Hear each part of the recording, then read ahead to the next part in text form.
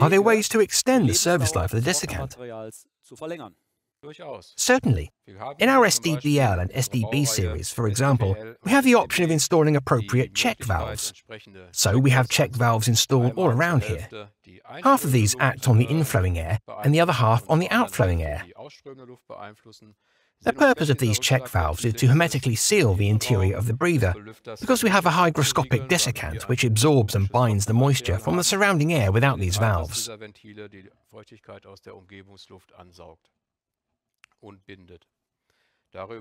A screw-in valve is new in our range. It acts as a bypass.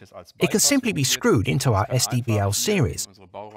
We are showing you a size 121 as an example here, without extending the length of the part. A breather adapter is required in most cases anyway. The required valves, which can be found in this one as well, are installed in this hexagon element.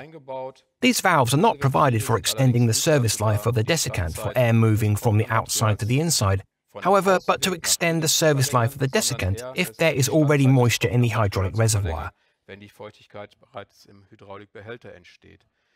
The valves draw the air flowing out of the hydraulic reservoir to the outside before the actual desiccant comes into play. Another option is to install the breather series on extended tubes, as shown in the picture.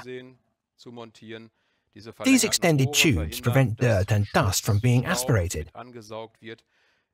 They allow for better breathing of the entire system and allow moisture coming from inside, such as oil mist, to condense and drain in the tube first.